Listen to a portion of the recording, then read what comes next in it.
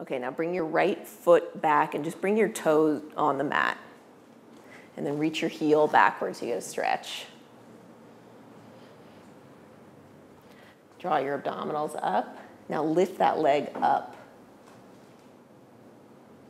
And then lower it again. Lift it up. Try to go a little higher.